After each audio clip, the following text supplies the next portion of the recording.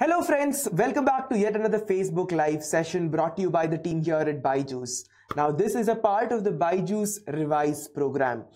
Now as a part of this session, we've been giving you insights on how well can you prepare for the upcoming board examinations.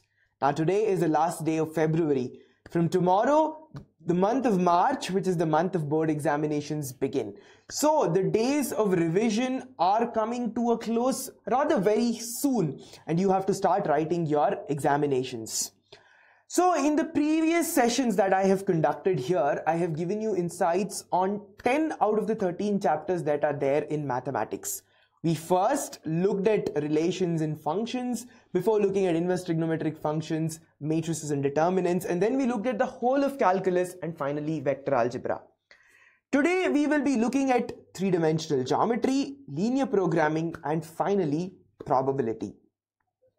Now before that, let me give, give you a brief in, insight into how will the structure of the question paper in maths be.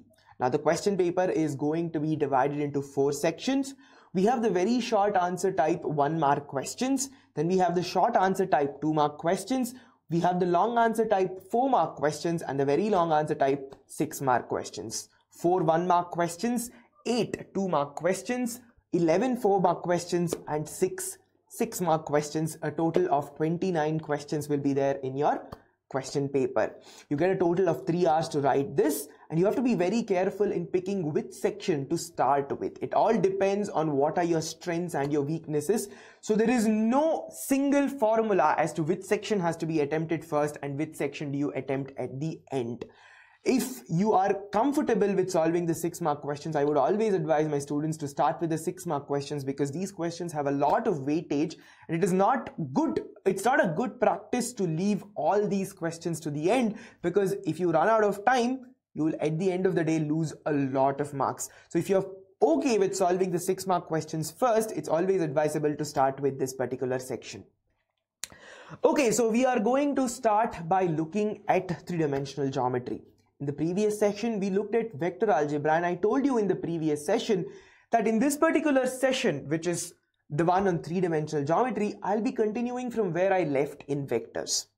So three-dimensional geometry starts with the concept of direction cosines. Now direction cosines is an extension of vectors the angle that any particular vector makes with the three coordinate axis this will be what comprises of direction cosines and direction ratios then we look at lines in three-dimensional space. You've looked at straight lines in two-dimensional space in, in your 11th standard.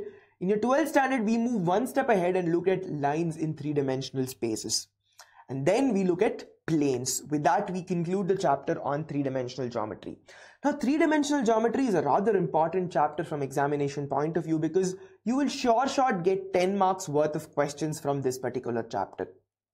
You will have a one six mark question for sure and one four mark question definitely. Sometimes the examiners also tend to ask a two mark or a one mark question, but a four mark and a six mark question, which is going to test your knowledge on angle between lines, planes and all the other concepts which are covered in planes will definitely appear in the examination. Three-dimensional geometry can sometimes be a little tricky, but the the thing with three-dimensional geometry is that there are not a huge variety of problems which come in the CBSE examinations. Yes, in your JEE and other competitive examinations, they can twist three-dimensional geometry a lot, but in CBSE, there are a fixed set of questions which will come from three-dimensional geometry. So if you practice these kinds of problems, especially the ones which are given in the miscellaneous example of NCERT, one of the questions should definitely be easy to answer.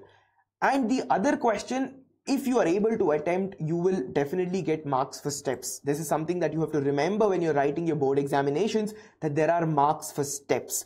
Please do not jump steps, skip steps and go just because you know how to solve it. Get out of the competitive examination mode. I've been repeating this in each and every session because that is one point that where students tend to lose marks. They know how to do the problem, but they know these shortcuts because of which they will lose marks in the board examinations. Please do not resort to shortcuts in board examinations. Write the answer with each and every step, elaborate in each and every step and make sure that you are getting marks for everything. Not just the answer matters here, all the steps matter when it comes to board examinations. So three-dimensional geometry, quite an important chapter because 10 to 12, 13 marks will come from this chapter. 10 marks, definitely one 6 mark, one 4 mark question will definitely come from this chapter. Then we are going to move on to linear programming. Now linear programming fetches one 6 mark question. That is it. You will not get any 4 mark, 2 mark or 1 mark questions from linear programming, you will get only one 6 mark question from linear programming. Now linear programming is a chapter that no one should skip because this is a very easy chapter, a few inequalities and you have to solve these inequalities graphically and you get 6 marks here.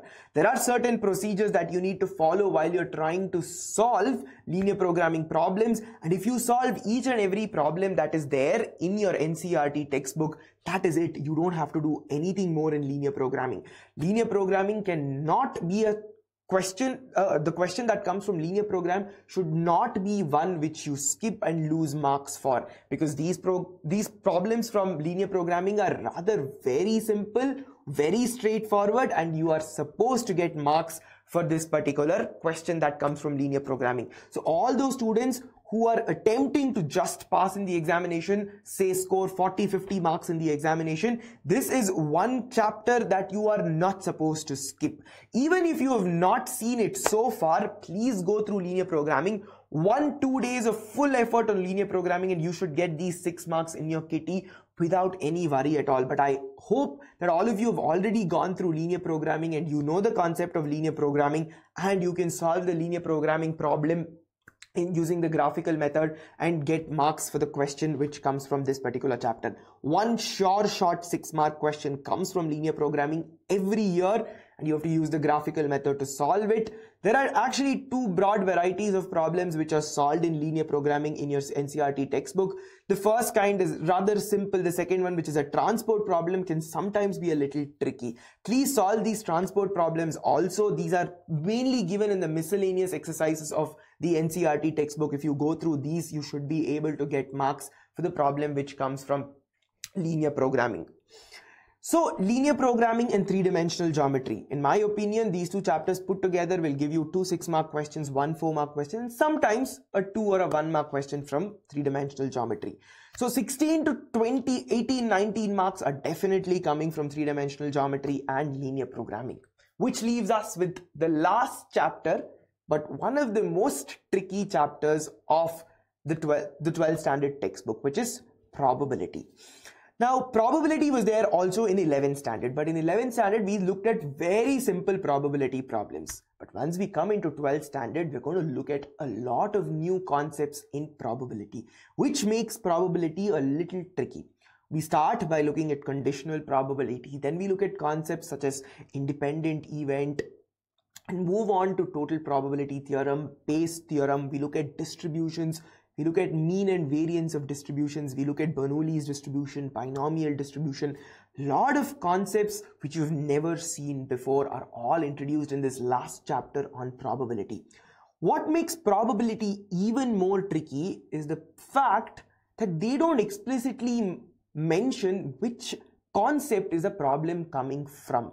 Sometimes while reading the problem, it becomes very difficult to identify whether it is a conditional probability problem or if you need to use Bayes theorem or if it's a problem which is on general probability. So this is what makes probability a little tricky. You have to go through all the problems that are there in the NCERT textbook, solve more problems, wide variety of problems which you can find on our app. If you've not subscribed to our app, you can download the app from the description of the video here. The link that has been provided there. Using that, you can download our app and you can solve a lot of wide varieties of problems which are available on our app. So the key to succeeding in solving probability problems is practice. You have to see a wide variety of problem because it is highly likely that one new problem can be asked from probability in the examination which you've never seen before and you will be completely stumped. So it's important that you have an acquaintance of almost all the different kinds of problems which are on offer so that even if a new problem comes you know that okay i've seen a problem which is more or less on the same lines and understand okay this is a conditional probability problem or this is a total probability theorem problem or a problem which is from Bayes theorem.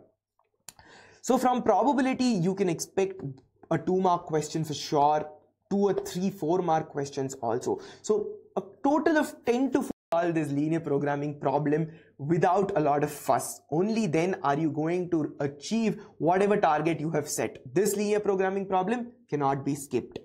Three-dimensional geometry, slightly tricky. Sometimes the problems from planes can be slightly twisted and tricky. But again, you have 10 to 12 marks worth of content coming from three-dimensional geometry. Again, a chapter that with a little bit of effort will fetch you at least 50% of the marks on offer. Even those students who are planning to just pass the examination can attempt and solve a few problems from three-dimensional geometry. Now, three-dimensional geometry is not like calculus. If you do not understand calculus, the whole of calculus is gone. Because three-dimensional geometry can sometimes be solved by imagining things because things are happening in space. You can imagine what is happening and you can solve problems from three-dimensional geometry which is sometimes not the case with probability from where again 10 to 12 marks worth of questions will definitely come. Probability can be a little tricky and to solve probability problems you should have sound understanding of all the concepts which are given in the NCERT math textbook and also you should have a very good understanding of different types of problems. Only then can you solve probability problems properly. Another suggestion that I will tell you is that do not skip the last portion of probability, which is on distributions, Bernoulli's distribution, mean and variance of distribution, because every year one two mark or one four mark question some generally comes from this section which is on probability distributions. So do not skip that portion for sure if Bayes theorem doesn't make sense to you, it's not the time to start understanding what is Bayes theorem because it's a little convoluted, the concept. So if it's a Bayes theorem problem and you've absolutely no idea what Bayes theorem is, I mean, there's, there can be very little that can be done at this particular stage here.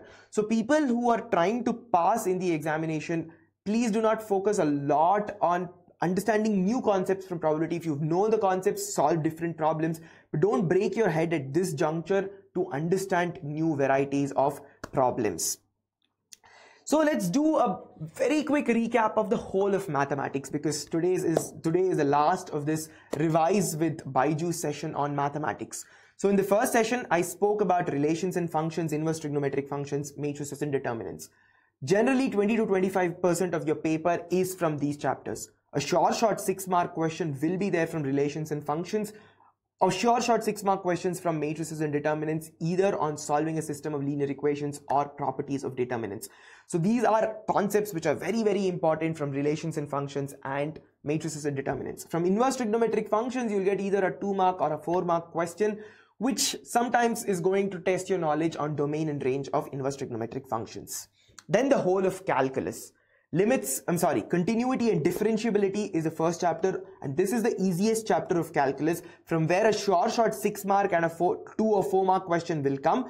So you almost have about 8 to 10 marks of questions coming from the chapter on continuity and differentiability these marks cannot be skipped even those students who do not know calculus should not skip marks which come from the chapter on continuity and differentiability because the chapters on differentiation, application of differentiation, integration, and differential equations can be quite tricky. These four chapters put together will give you almost 40 marks worth of questions.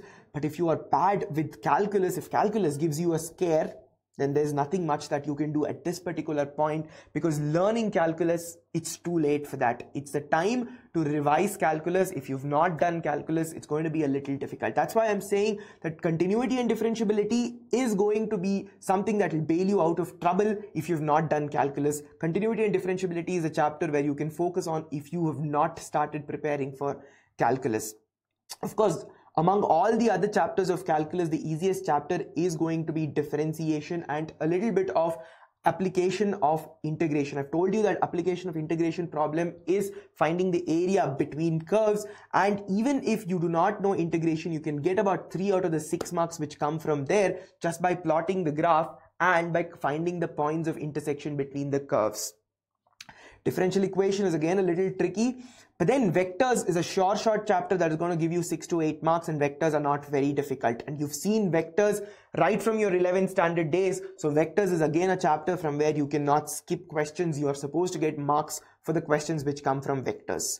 Then I told you today that 3D can be a little tricky, but linear programming is again a chapter from where the question is going to be an easy one and you should get all the marks that are on offer from linear programming. Probability again is a little challenging. It is not worth now to invest a lot of time in understanding the concepts. So the last few days before examination, what you must understand is you have to focus on what are your strengths and focus a lot on those concepts which have high return on investment. If you invest a little bit of time on those concepts, they should give you a lot of marks. And I have in these last four sessions told you which are the concepts which are high return on investment and these are the concepts that you must focus on. I think I've been speaking for some time now. Let me take a few questions and with that, let us wrap this session on mathematics, which was a part of Revise with Byju's. So I have a few questions here. One of the questions is, what are the shortcuts that you will give me for JEE mains for chapter on probability? I'm sorry, this is not a session on JEE mains. This is a session on CBSE board examination. But because this question actually is about shortcuts, I, it is it reminds me of something that I have been emphasizing on on all these four different sessions. Please do not resort to shortcuts in the board examination board examination evaluators are going to pay a lot of attention to each and every step that you write on the paper. Each and every step is going to fetch you marks in your board examination. A six mark question is not going to fetch you six marks for the right answer. It's going to fetch you six marks for the entire methodology. Please do not use any shortcut in board examination, especially L'Hospital's or the L'Hopital's theorem. Now, L'Hopital's theorem is something that completely irritates the ones who are evaluating the paper. Any limits problem, if you solve using L'Hopital's theorem, you are definitely going to get zero marks for that.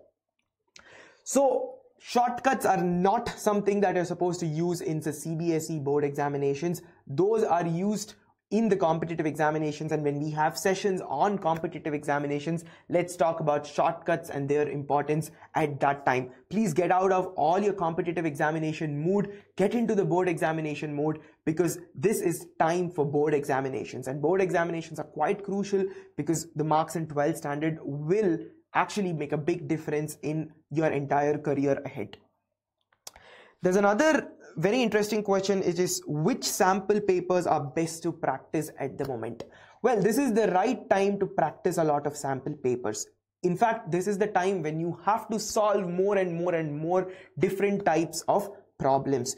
And more importantly you should do past year papers. Among all the sample papers the best sample papers are past year papers. Take as many past year papers as you get and solve all these past year papers because Past year papers will give you a clue as to which sections from the textbook are the favorites of the examiners. You can see that repeat repetition, maybe the numbers won't be repeated, but keep an alarm. Make sure that you are not exceeding the 3 hour limit because this way you will understand which is the area where which is that is taking you a lot of time and which is the area that you can finish very fast. This is how you can plan where to attempt which at, at what time during the examination to attempt which particular problem. Do i start with the 6 mark questions? Do i start with the 4 mark do i start with the 1 mark and go till the 6 mark? All this you can identify only if you solve a lot of timed papers at this particular juncture because the examinations are around the corner. A few days from now you will be all in the examination hall writing examinations.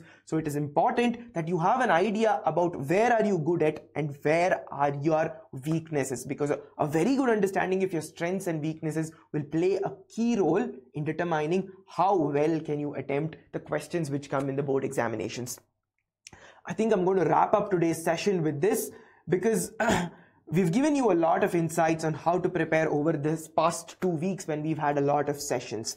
Last thing that you must remember, which I've always told at the end of my sessions, is in addition to being prepared academically for the examination, be physically and mentally prepared as well. Eat good food, sleep well, and make sure that you're well prepared physically and mentally. And on the day of the examination, go with a fresh mind which is well rested. Of course, mathematics, this is the time to solve a lot of problems, solve wide variety of problems, do a lot of sample papers, do a lot of timed papers. It's not the time to start looking at concepts. It's not the time to start understanding concepts because that was something that you should have done in the past. Now just focus on solving more and more problems and getting a feel of how the exam paper is going to look like. All the best for the upcoming examination season. Do not be under a lot of stress and pressure. Give your best. Make sure that all of you pass the examination with flying colors. All the best to all of you from the team here at Byju's and we'll see you later in another series which will start immediately after the board examinations. Bye bye. Good evening. Have a nice time.